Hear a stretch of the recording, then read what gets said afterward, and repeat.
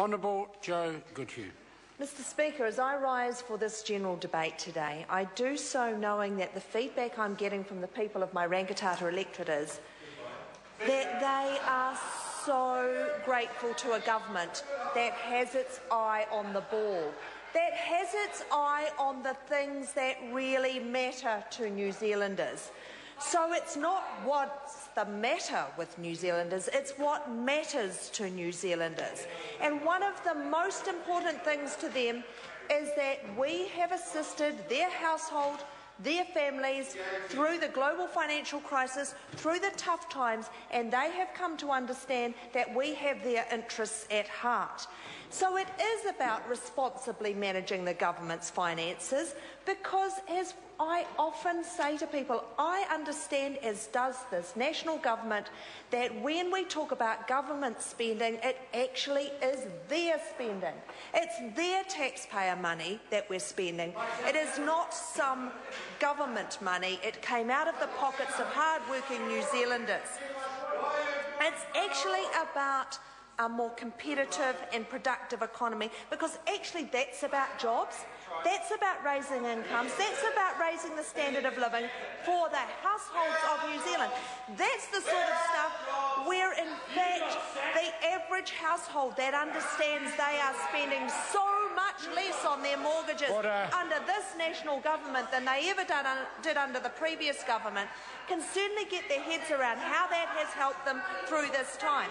It's about the confidence that the people of Canterbury understand because they know this government is backing them, is backing getting the rebuild done.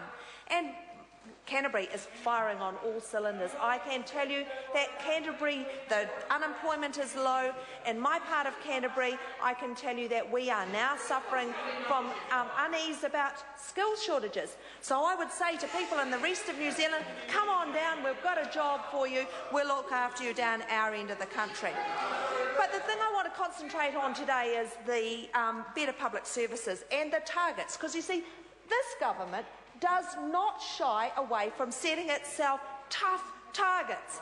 Targets that will not be easy to achieve, that are not simply window dressing, because our government and New Zealanders understand that it's not about spend, spend, spend, spend for the sake of spending. It's actually about getting some value for the money we spend.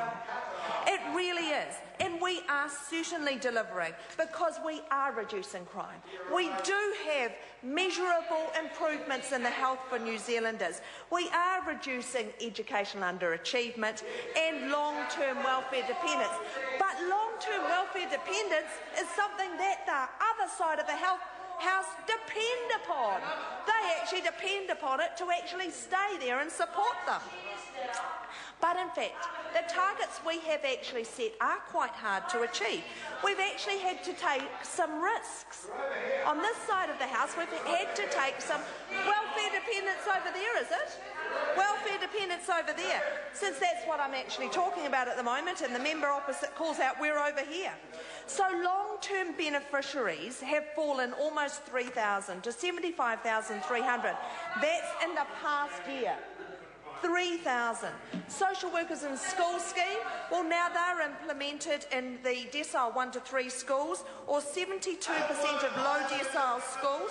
That's making a real difference in those schools. But not only have we got um, social workers in schools, we've got social workers in every single DHB hospital.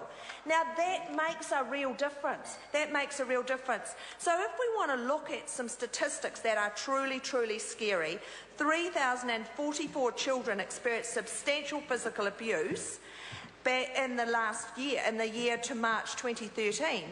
But actually, the good news is that's a reduction of 3.5%. So we are seeing, we are actually, oh, the members dreaming. The Vulnerable Children Bill received universal, unanimous support across the House. So that's something we can actually all agree on. But what we didn't see under the previous government is any jolly, um, any jolly improvement on it, any tough things.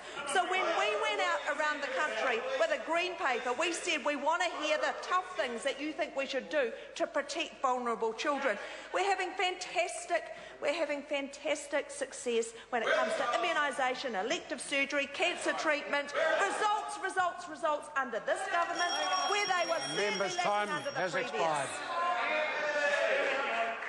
Grant Robertson. Thank you very much, Mr Speaker. It's always